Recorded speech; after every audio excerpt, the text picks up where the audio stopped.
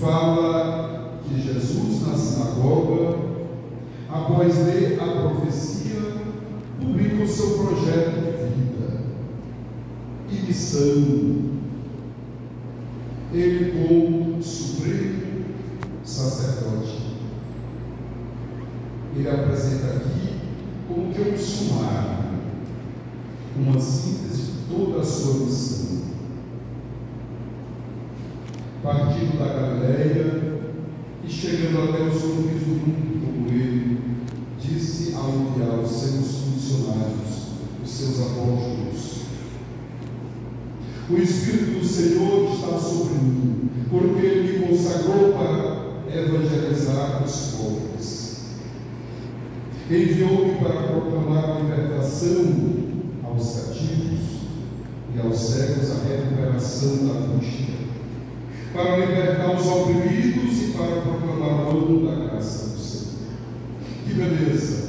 De agora em diante, o reino de Deus deixa de ser uma realidade somente no futuro para se transformar numa realidade presente, atuante na história. Jesus anuncia a libertação da forma mais bela possível. Retomando o profeta Isaías, Jesus fez como um jovem que na sinagoga proclamava a leitura. Era assim. O culto judaico era muito simples. De acordo com os especialistas, era muito simples. Qualquer jovem do sexo masculino podia proclamar a leitura. No livro de um dos livros do Pentateuco, de um dos profetas e o cântico dos salmos. E Jesus acerta o cheio do profeta Isaías. Foi ele que escolheu, portanto, é por isso que dizemos, ele quis ali colocar, publicar o seu projeto de. E eis que aqui ele anuncia as quatro misérias do mundo, dos quais ele as quais ele quer combater o seu ministério. A pobreza involuntária, como miséria, a prisão, a opressão, a cegueira. E no centro está a consagração. Ele me consagrou. Assim nós somos uma multidão de consagrados e consagradas. Consagrados, assim somos no nosso batismo, a primeira consagração. Consagrados na crise, consagrados na oração, consagrados na força da palavra, na Eucaristia, na caridade alterosa e consagrados pela sagrada ordem, pela ordenação sacerdotal, como sacramento. Todos somos consagrados, todos somos reservados para o serviço do Senhor, todos somos santificados e enviados para uma missão, enviados para ser presença de Deus na história. E para santificar este mundo, santificar também a história, fazendo história de uma forma viva e atuante. O Evangelho conclui dizendo assim: Hoje se cumpriu esta passagem da Escritura que acabaste de ouvir. Esse hoje é um hoje cairológico. É o tempo de Deus. É o hoje de Deus que isso se realiza. O profeta Isaías disse que a igreja é o povo sacerdotal de Deus. Sois os sacerdotes do Senhor, chamados ministros de Deus, ministros de nosso Deus. Todos nós somos. Estamos aqui não somente o corpo sacerdotal, mas estamos aqui também todos reunidos, institutos. Se todo este é o povo de Deus, como proclama a palavra, que novidade é que nós temos, Padre? Qual é a novidade, então, que nós somos sacerdotes ministeriais? E o sacerdócio ministerial, que identidade ele tem? E aí nós vamos perceber o sacerdote ministerial, ele muda a sua identidade na comunhão trinitária no serviço ao povo de Deus, do qual também os sacerdotes fazem parte. A teologia do sacerdócio diz, a partir da mais genuína reflexão teológica e ministerial, abro aspas, o presbítero de fato, em virtude da consagração que recebe pelo sacramento da ordem, é enviado pelo Pai, através de Jesus Cristo, ao qual é configurado, para viver e atuar pela força do Espírito Santo, a serviço da Igreja e para a salvação. Esta é a comunhão, primeiramente, a comunhão trinitária. E esta comunhão se transforma em comunhão de serviço e de amor ao povo de Deus. E continua: o presbítero é inserido sacramentalmente na comunhão com seu bispo e com os outros presbíteros para servir ao povo de Deus, que é a igreja.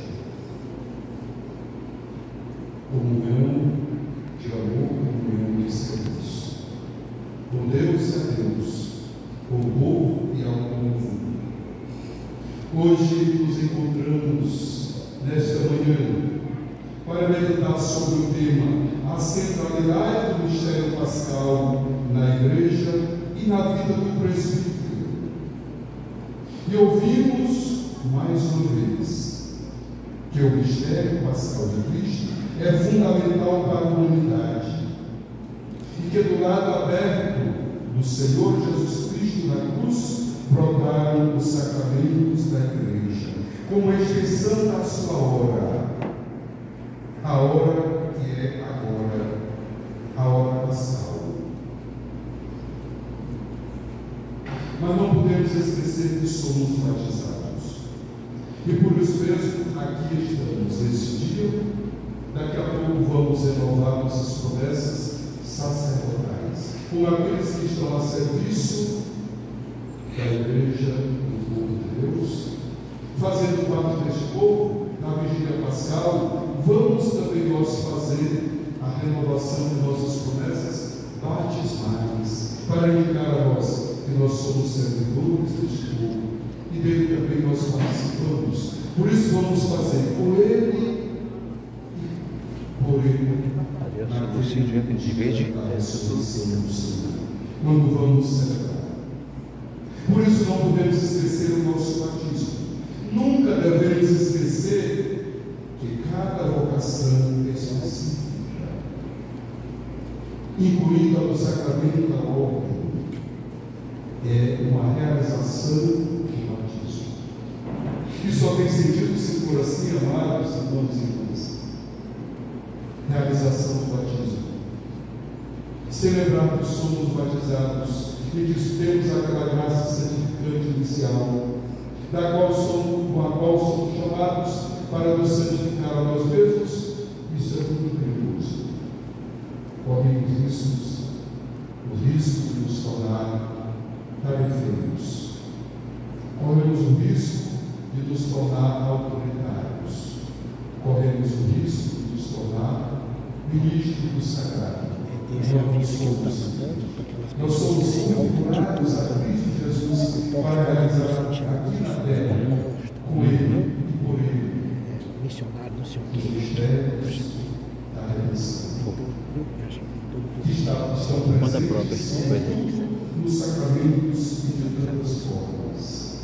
Eis a beleza do sacerdócio. O sacer- o sacerdócio O que, que quer dizer que o sacerdote tem que da ser humilde. é serviço. um e, da comunidade. Nesse dia também nós podemos perceber a riqueza do simbolismo entregue nesta celebração. E vamos ver que ela garante a materialidade desta prática sacramental, desta prática sacerdotal em três olhares: a ternura, a reconciliação e a fraternidade. Eles são para garantir esta nossa fraternidade que deve se materializar sempre. Esse ano tão motivados pela campanha da fraternidade que nos convida, nos convida à amizade social. Ela precisa partir de nós. Não como uma caixa que controla e que olha somente para o seu ciclo de amizade ou simpatia. Hum. Mas como meio sacerdotes humanos e configurados a Cristo pelo sacramento da ordem, fazemos essa amizade acontecer de nós, também para além daqueles que não são simpáticos, somos tão diferentes. Também para aqueles que são muitas vezes nossos oponentes, somos tão diferentes, mas é preciso ir mais além. E fazer com que essa fraternidade sacerdotal seja um grande exemplo para o mundo, para construir a fraternidade e a amizade sacerdotal. A fraternidade e a amizade social, de que o mundo tanto necessita. Por isso, os santos olhos. Hoje vamos abençoar e vamos consagrar os santos olhos. Ao final, eles serão entregues a cada pai. E eles vão se espalhar em todas as unidades pastorais de nossa diocese para realizar o que significa para o povo de Deus, para serem usados nas celebrações dos sacramentos, sinais da graça de Deus, da qual nós somos dispensadores, por uma vocação não especial, mas específica, por uma graça divina. Ouvimos também no ano passado, e até diante reserva em nossos corações, vocação, graça e missão. O óleo dos catecúmenos transmite a força divina na luta contra o mal. O óleo sinal da força libertadora de Cristo, dando alívio do sofrimento, confortando, dando perdão e a libertação. Foi esta missão que o Senhor nos deu, libertar. O óleo do crisma que será consagrado, perfumado. Por isso é interessante que o Padre dizer hoje. Sobre isso, coloca um pouquinho mais de perfume agora, porque está muito bem cheiroso colocar pouco daqui a pouco, para ficar bem cheiroso. E para a gente ser este sinal e levar aonde quer que estejamos esse agradável odor, perfume de Cristo para esse mundo tão necessário.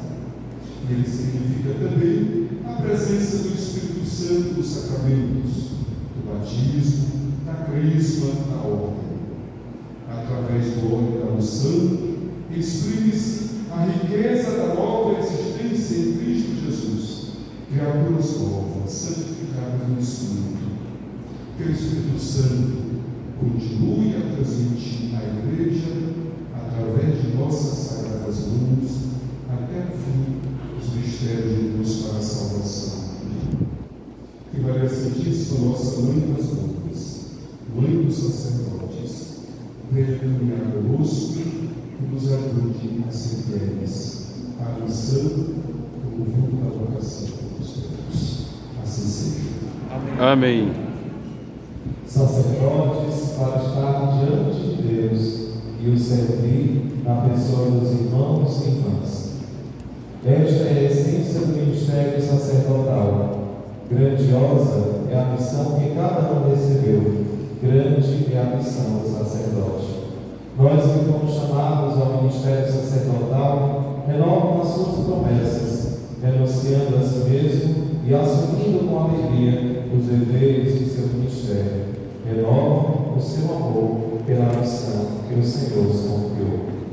Os reverendíssimos senhores presbíteros queiram permanecer em pé para a renovação de seus câmeros e dos enfermos, e será consacrado óleos do Santo Cristo. Esses óleos serão utilizados na administração dos sacramentos no decorrer do ano todo. Com o óleo santo do Crisma serão ungidos os novos batizados e aqueles que irão receber o sacramento da confirmação. Ainda com o óleo santo do Crisma serão ungidas as mãos dos presbíteros na ordenação presbiteral e é ungida a cabeça dos bispos na ordenação episcopal. Como também será usado para ungir os altares de novas igrejas durante o rito da dedicação de uma igreja. Com o óleo santo dos catecúmenos, todos aqueles que estão se preparando para receber o sacramento do batismo serão ungidos. E o óleo santo dos enfermos será administrado durante o sacramento da unção dos enfermos, dando aos nossos irmãos e irmãs, nas suas enfermidades, conforto e alívio na sua dor. Os olhos santos abençoados e enviados às nossas paróquias, estes tornam dom que exprimem a comunhão de todas as paróquias numa só fé e no só Espírito. Acompanhemos.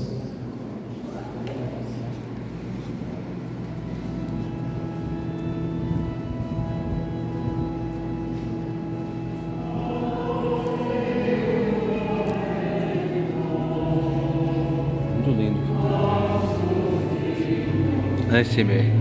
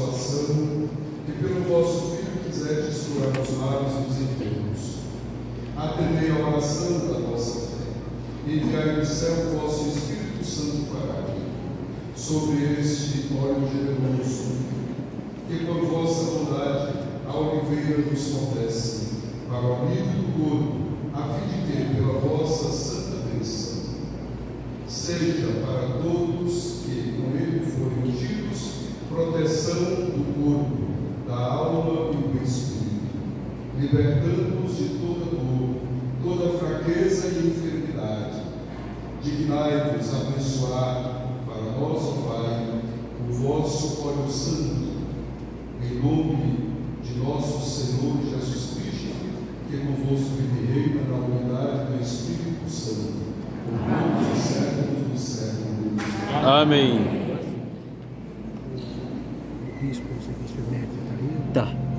Tá, Dom Jacinto. Jacinto.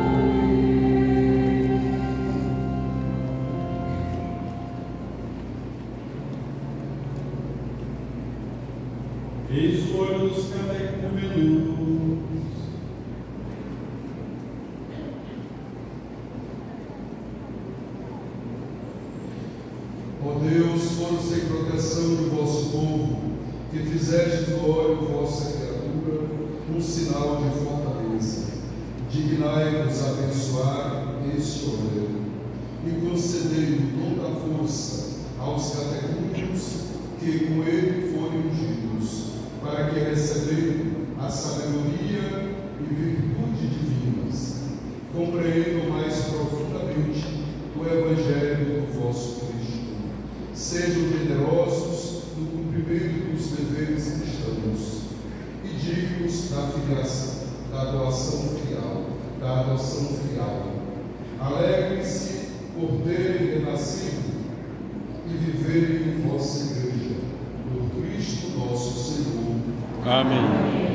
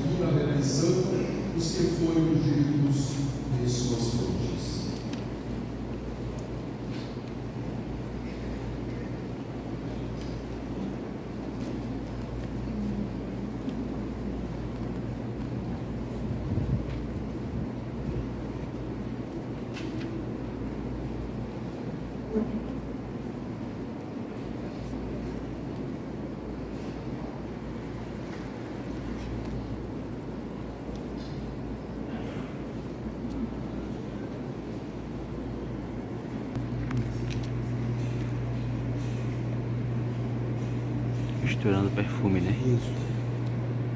Então, perfume no óleo.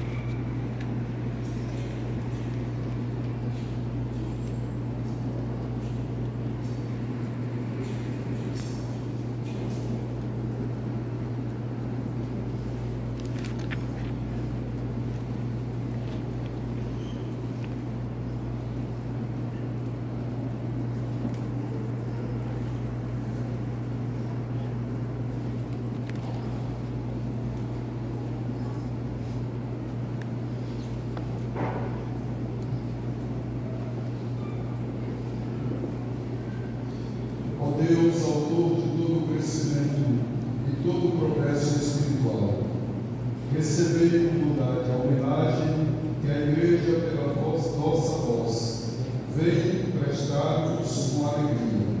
Fizestes no princípio que a terra produzisse árvores frutíferas, e entre elas a oliveira, cujos frutos fornecem todo óleo, todo este óleo tão rico com que se prepara o Santo Cristo. E Davi, antevendo com o espírito profético os sacramentos da vossa graça, cantou a nossa alegria ao sermos ungidos pelo óleo. Nas águas do dilúvio, aos serem lavados os pecados do mundo, uma bomba anunciou a paz restituída à terra, trazendo um ramo de oliveira imagem do futuro que agora se manifesta claramente, pois apagada toda mancha de águas do batismo, esta unção de ouro nos traz às nossas faces a serenidade e a alegria. Também mandastes que vosso servo Moisés, pela infusão deste óleo, constituísse sacerdotes, sacerdote seu irmão Arão, já purificado pela água. E a tudo isso se acrescenta honra ainda mais alta quando nosso Senhor Jesus Cristo, vosso Filho, exigindo que João o batizasse nas águas do Jordão, e sendo enviado o Espírito Santo sob a forma de uma pomba, proclamardes pelo testemunho de uma voz que em vosso Filho unigênito estava todo o seu amor, e claramente confirmastes serei, por excelência, ungido com óleo de alegria, anunciado pelo profeta Davi.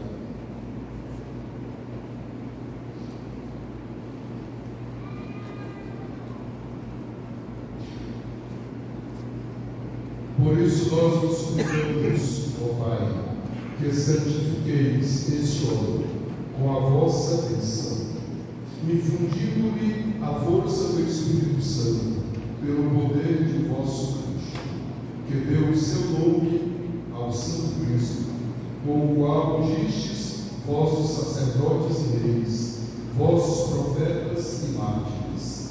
Fazei que este óleo do Cristo seja sacramento de perfeita salvação e vida para os que vão ser renovados nas águas do batismo, santificados por essa unção e sanada a corrupção original, tornem-se templo da vossa glória e manifestem a integridade de uma vida santa, segundo disposição da vossa vontade, cumulados da honra de reis, sacerdotes e profetas, revistam-se de um dom incorruptível.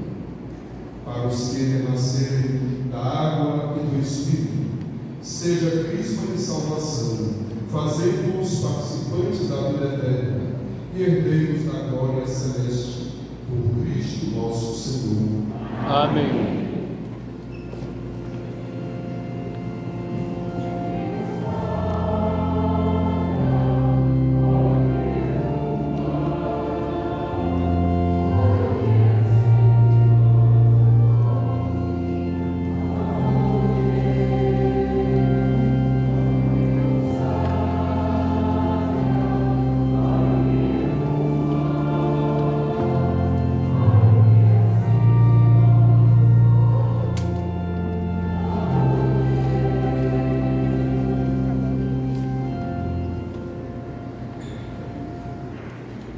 Não.